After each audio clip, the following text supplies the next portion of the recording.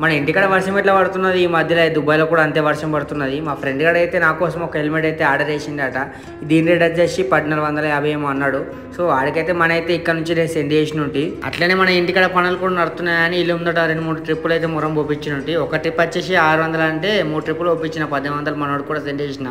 ఈ వర్షం చూస్తే నాకు ఇల్లే గుర్తుకొస్తున్నది. మరి ఇంత ఘోరమో పడుతుంది వర్షం? ఆఫ్టర్ లాంగ్ టైం ఇంటికో ఈ మధ్యలో వచ్చిండు సో రాగా మా కోసం అయితే స్పీడ్ తీసుకొచ్చిండు. వద్దు వద్దనా అని ఇంకా పెడుతూనే ఉన్నాడు. సో ఒకటే ఆయన ఒకటి ఒకటే ఆయన ఒకటి. అట్లా ఒక ఐదారు స్వీట్లు అయితే తినేసిన. అన్నం తినడేమో కానీ స్వీట్లు అయితే నేను బాగా తినేసిన. దాని తగ్గట్టు మా డ్యూటీలు కూడా నాకే ఇచ్చేసిళ్ళు. నీ కడుపు పెద్దదని.